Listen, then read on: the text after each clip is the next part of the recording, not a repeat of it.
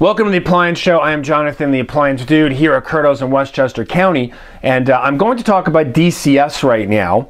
Um, and I need to I need to correct an omission because some time ago I posted a um, um, a segment. It was called DCS Range Review, Part One of a three-part series.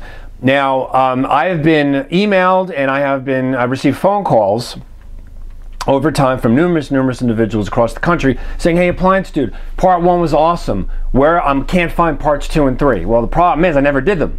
I thought I did, but I didn't actually record them. So what I'm going to do today is take the time, uh, and actually this is going to be combined part two and three of that segment.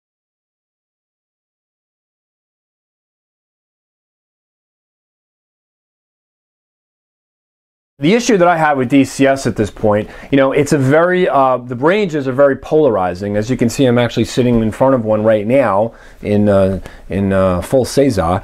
And um, the issue I have with this range, and again, this is just simply the appliance dude waxing poetically on my own thing. I mean, I don't like the handle and I don't like, I don't like the, um, there's a grill on the bottom, which to me doesn't work from a design aesthetic. Now, this is the deal. and This is what I've been told. See, um, well, actually, before I get into what I was told, my guitar teacher, okay, um, I was at his house last week. He said, "Can you come in the kitchen? I want. I'm having an issue with my hood.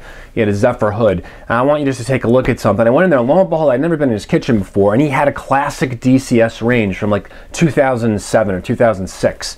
And it's funny how similar the Capital range, the current Capital range, looks like the DCS of days gone by. Of course, those, those companies have a uh, have a shared history. We won't get into that right now. But I looked at it and I said, my God, what a beautiful piece of equipment this DCS is. And I mean, you know, DCS has been a brand that traditionally over the years has been purchased by serious cooks. It's never wasn't really something that people gravitated to because of a brand standpoint and status. And this, the trophy kitchen, it was for folks who like to cook. I know a few chefs, a bunch of them actually. A lot of them have DCSs from the early aughts and uh, you know 2007 8 9 whatever because the brand was kicking at that time. And that was really they were the leader in performance for uh, for indoor range performance. And uh, um, I, looked at what this range looked. I'm like, man, why did they change the design? Now let me get back to what I was saying before. Why did they change the design? They felt back three years ago that the pro range market was looking every every range looked like one another, thick handles and so on and so forth, and they wanted to move away from it. So it was an absolute ballsy move okay from a product design standpoint i mean they wanted to differentiate themselves Unfortunately, what they did, in my opinion, is they created a product that was too polarizing. Because when we bring people over to DCS, this is the reaction. They either love it or they want nothing to do with it. And you can't be you can't be polarizing like that. You have to allow for some gray area. And um, and so that's kind of where it is. And I've expressed my my uh, my concerns about that uh, quite emphatically to my DCS, DCS representative. And here's what they're doing. And not because I opened my mouth, but this is what they're doing from a corporate standpoint. Number one, the grill at the bottom, which I don't like. You know, and I've been told, hey, listen, man, I mean, what, what's the big deal about it? Sub-Zero's had these grills on the top of their refrigerators for decades. Well, whatever, it works for them. It doesn't work on the range. I don't like it. They now offer an accessory, which is a flat stainless toe kick, okay? So the grill on the bottom is gone if you want it. You can purchase this, this as an accessory. Now, what about the handle? Now, again, the handle, for those, there are some folks who love it because it's actually rounded. You look at it and you say to yourself, oh, this, this handle is square.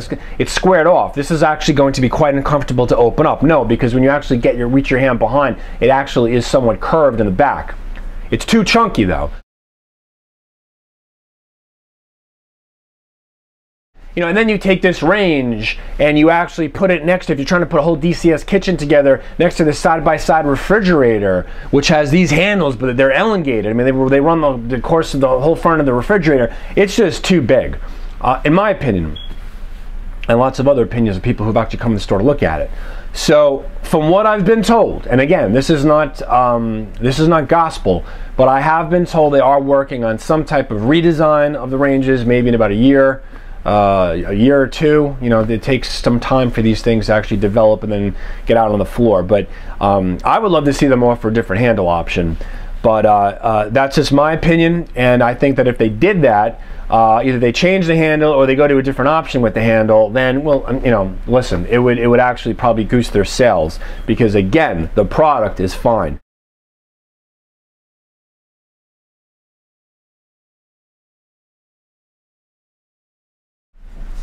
What do you have here? You got three rolling racks, three, three racks. The meat probe. Um, what else?